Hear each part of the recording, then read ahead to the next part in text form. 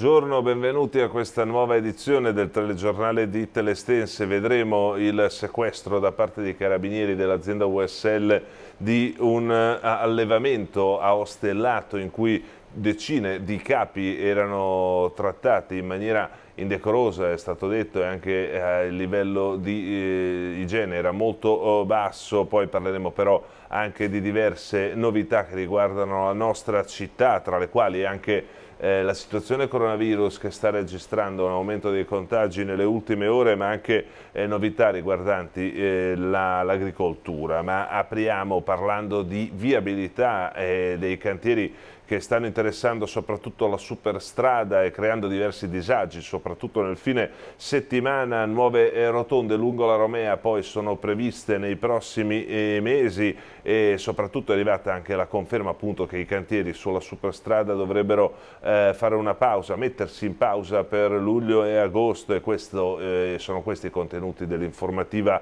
sulle questioni ANAS espresse in Consiglio provinciale dal Presidente della provincia Gianni Michele Padovani.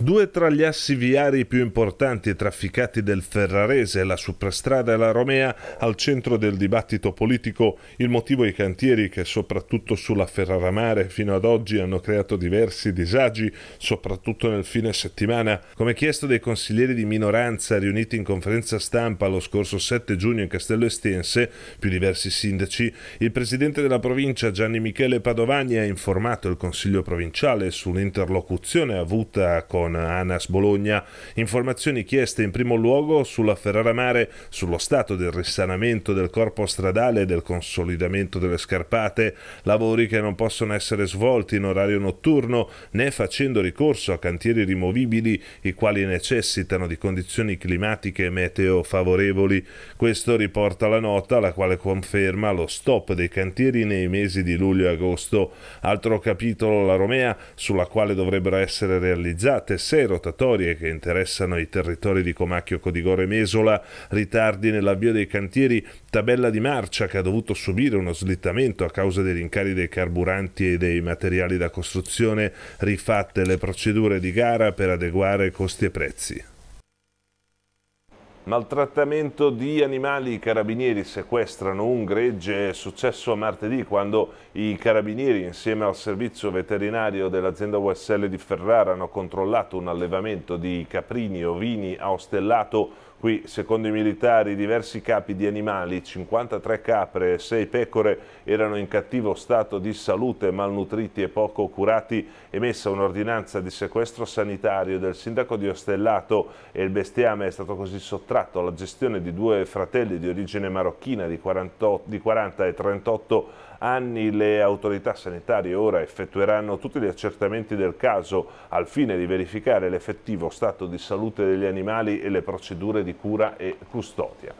E parliamo adesso del problema della siccità. La Regione Emilia-Romagna ieri ha presentato al Governo la richiesta dello stato di emergenza eh, nazionale. La richiesta ufficiale è stata inviata in mattinata ieri dal Presidente della Regione Stefano Bonaccini al Presidente del Consiglio dei Ministri Mario Draghi e al Capo del Dipartimento della Protezione Civile Fabrizio eh, Curcio. Nel distretto del Po le portate sono ancora molto basse, l'acqua salata in ingresso nel fiume, ovvero il cuneo salino eh, che tanti problemi provoca soprattutto all'agricoltura, è una quota record, oltre 30 km, una misura mai vista. La pioggia delle, di martedì e delle ore successive non ha risolto molto, ha, ha alleviato un po' la situazione, ma secondo Meuccio Berselli, segretario generale dell'autorità del fiume Po, si attendono tempi migliori. Queste precipitazioni sono state molto importanti perché ci consentono di saltare un turno di irrigazione. Eh, in realtà eh, abbiamo solo spostato il problema di 10 giorni perché se avessimo ridotto correttamente come avevamo previsto i prelievi nei giorni scorsi, oggi avremmo un bacino del Po in minore sofferenza e soprattutto la portata nel delta sarebbe maggiore. Parliamo troppo, parliamo in troppi e secondo me facciamo troppo poco. Comunque il beneficio c'è stato, eh, abbiamo bisogno di evitare danni irreversibili nel delta, la pioggia è caduta sopra i 50 mm nella zona piemontese, questo ha consentito di eh, avere un riempimento nei grandi laghi regolati, il lago Maggiore è tornato sopra allo zero idrometrico, questo ci consente di centellinare, di disporre un po' di acqua per i giorni prossimi che verrà e sarà utilizzata, eh, deve essere utilizzata benissimo per evitare quello che è successo nei giorni scorsi.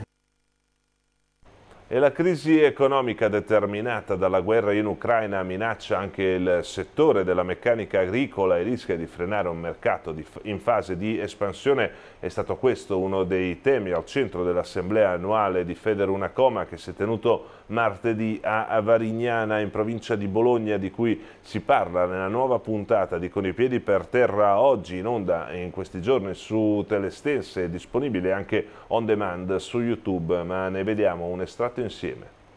Abbiamo voluto fare per i nostri associati, in generale per il nostro mondo, un po' un'analisi di scenario di quello che è questa situazione che è molto preoccupante della guerra russo-ucraina con Dario Fabri e uno sguardo un po' quello che sarà il prossimo futuro dell'economia italiana in particolare ma europea in generale con da una parte Carlo Cottarelli, professor Carlo Cottarelli e dall'altra un nostro amico da, da, da anni che è l'onorevole Paolo De Castro che ripeto è stato uno dei migliori ministri dell'agricoltura che abbiamo avuto negli ultimi anni e speriamo che anche in Europa continui a farsi valere non solo lui come persona ma mh, soprattutto difende i nostri colori. Dottor Cottarelli, un'assemblea, un momento per fare il punto sulla situazione economica, eh, quello che sta succedendo nel post pandemia e soprattutto la guerra che si sta tenendo alle porte dell'Europa.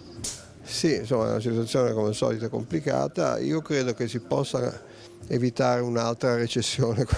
quest'anno dopo quelle passate. Non sarà un anno spettacolare, però secondo me si può evitare. Ci sono alcune incertezze, una legata a quello che succede ovviamente se c'è un deterioramento, un'escalation militare oppure delle sanzioni, diventa ancora più complicata, oppure c'è la questione altra grossa, grossa incertezza riguardo i tassi di interesse l'inflazione, aumento dei tassi di interesse da parte della BCE, l'impatto che questo può avere sugli spread e sul settore finanziario. Edizione 2022 di EIMA International con tantissime novità, presentazione anche di alcuni aspetti innovativi oggi qua. Oggi qui abbiamo presentato un ulteriore aggiornamento della, del cantiere EIMA 2022 in occasione della nostra Assemblea Generale Federuna Coma dove abbiamo trattato tanti temi importanti eh, tracciando il trend anche del nostro settore industriale che parla anche di eh, un evento promozionale estremamente importante internazionale come quello di EMA International che avremo a novembre. E tante le novità e anche estremamente importanti numeri ad oggi, 1400 imprese che hanno già formalizzato la domanda di adesione, 460 estere, quindi il numero delle imprese estere torna a crescere a dimostrazione che la piazza internazionale di EIMA è eh, sicuramente molto importante. Dobbiamo parlare però adesso di coronavirus, siamo in attesa dei dati odierni, ma se guardiamo l'ultimo bollettino, quello emesso ieri, si è registrato un aumento importante di nuovi eh, contagi nel Ferrarese. Sentiamo.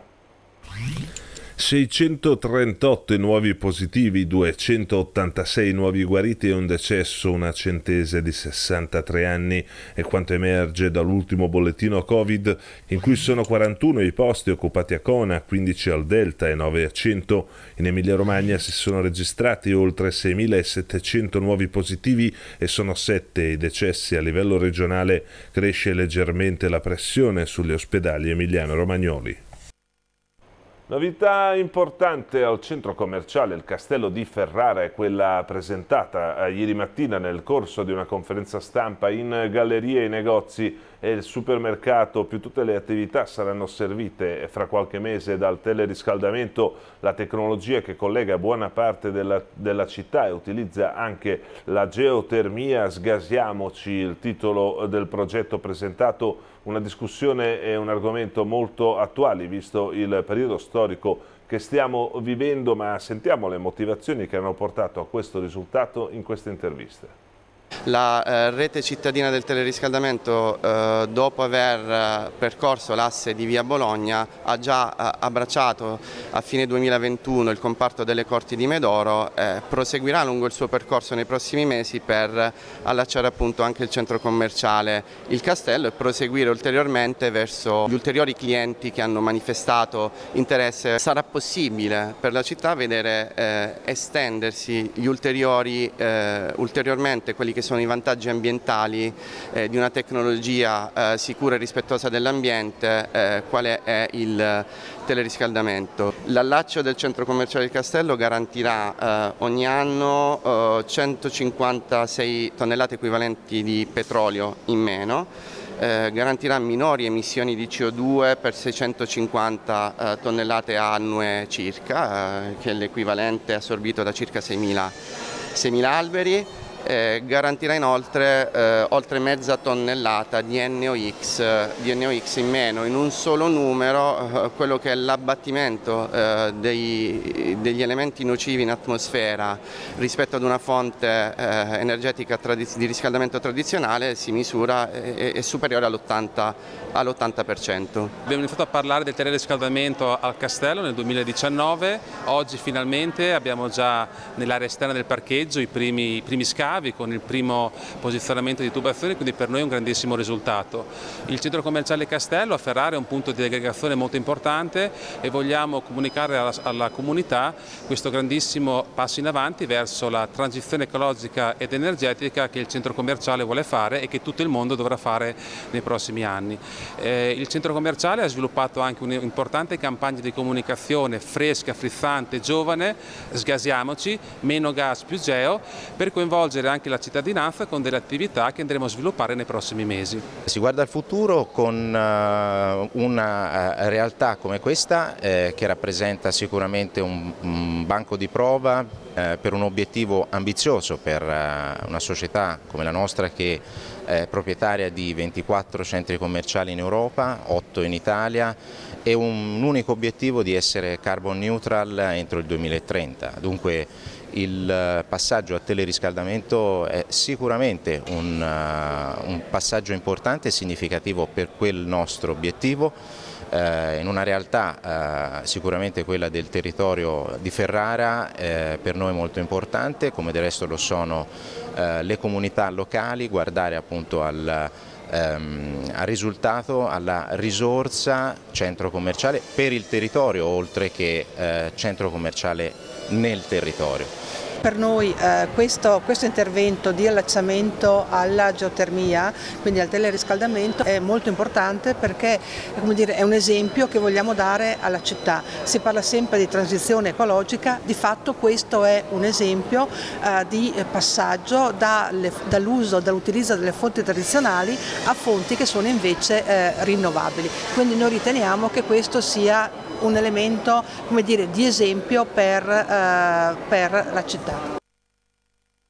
Economia adesso, Camera di Commercio per l'osservatorio nei primi tre mesi di quest'anno, gli indicatori congiunturali sarebbero in rallentamento, eh, pesano gli effetti della crisi energetica, le crescenti tensioni geopolitiche e la mancanza di materie prime.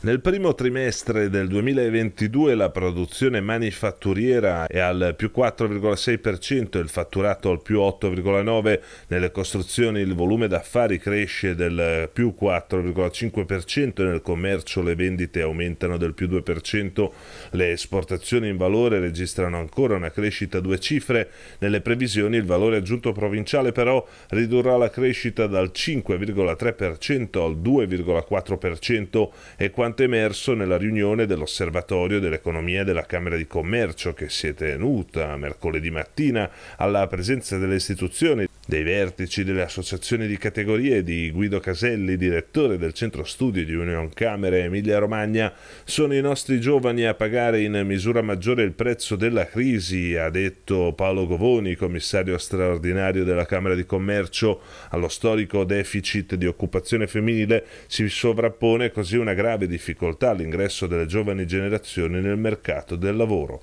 ha poi puntualizzato il commissario. E neanche la tanto attesa pioggia di martedì scorso, caduta nel tardo pomeriggio, ha fermato la penultima giornata della sagra dell'arachide e del popcorn. All'interno della sagra a Mezzogoro, che ha chiuso ieri sera, eh, c'è stata anche la presentazione del nuovo libro di Nunzio Primavera, Giove Ionico, Storie tra sismi e amori, edito da Pendragon, l'evento in cui è intervenuto anche Giorgio Grenzi, presidente senior Coldiretti per Sempre Italia, è al centro della nuova puntata di Campagna Mica News che è andata in onda ieri sera, andrà in onda anche nei prossimi giorni la trovate la puntata on demand su eh, YouTube, ma ne vediamo un estratto insieme.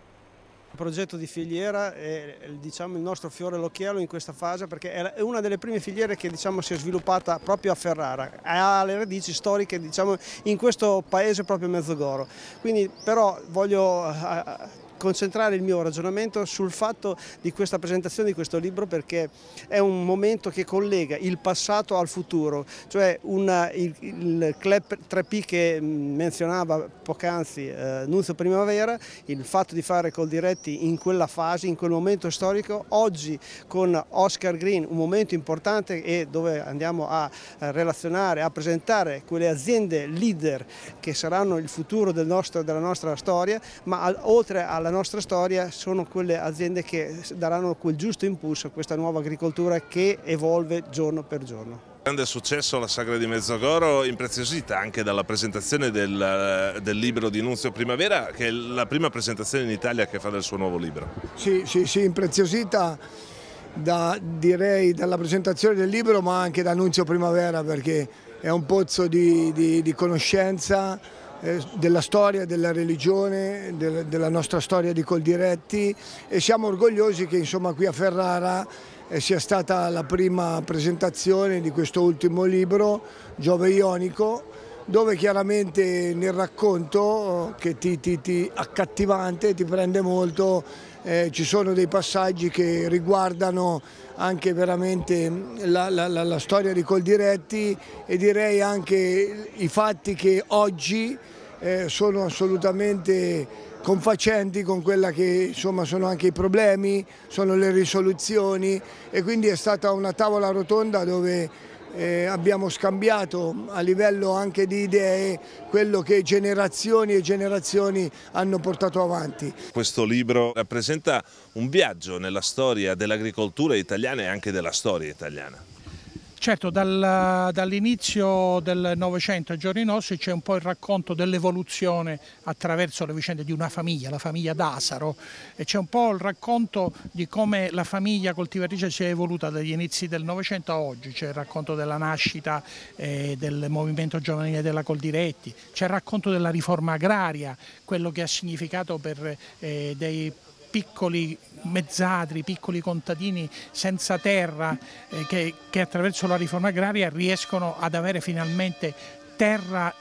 in propria eh, proprietà, in possesso da poter coltivare e questo è uno dei grandi risultati della riforma agraria che la Coldiretti riesce a portare nel 1950 a compimento con la più grande redistribuzione di ricchezza che ci sia mai stata dall'Unità d'Italia. Parliamo di 3 milioni e 600 mila ettari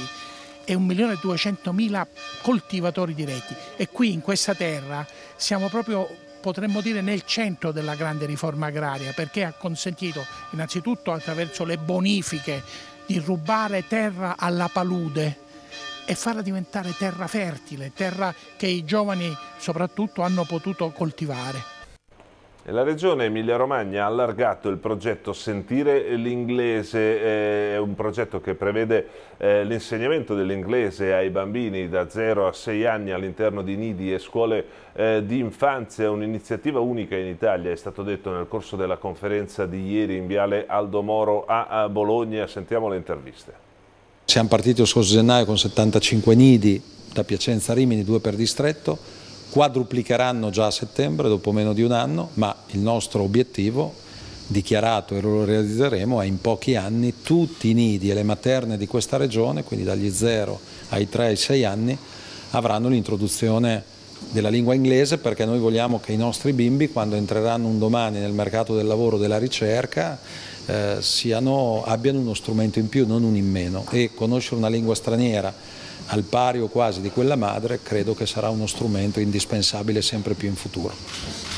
più che raddoppia, quadruplica addirittura perché siamo partiti da 75 nidi in tutta la regione il primo anno e questa volta saranno 304, quindi quadruplica il, il progetto e quadruplicano le bambine e i bambini a cui sarà possibile apprendere le sonorità della lingua inglese in armonia come sta accadendo con le altre lingue madre che parlano nelle loro case. Questo è quindi un progetto che sta avendo dei risultati ben oltre le nostre aspettative iniziali perché da un lato è stato accolto con grande entusiasmo dalle bambine e dai bambini che chiamano a gran voce questi personaggi di pezza che introducono attraverso il lavoro preziosissimo di educatrici e educatori il momento in cui si dedicano all'ascolto della lingua eh, inglese, eh, nell'entusiasmo delle delle educatrici e degli educatori stessi perché stanno aumentando il loro patrimonio di consapevolezza, competenza e, e naturalmente anche valorizzazione della conoscenza delle lingue. Dall'altro punto di vista è un progetto che sta incontrando l'entusiasmo delle famiglie, questa è la vera sorpresa. Abbiamo scoperto che proprio nel coinvolgimento delle famiglie per costruire insieme materiali, per inserire e dare dignità anche alla lingua madre che deve essere un punto di forza e non un limite, no? eh, da questo punto di vista le famiglie stanno in questo modo incontrandosi e eh, creando uno spazio di eh, dialogo e sinergia che fa inclusione sociale. Ecco, questa è la vera sorpresa di questa progettualità. E con questo è tutto, io vi ringrazio per l'attenzione e vi auguro una, bu una buona giornata.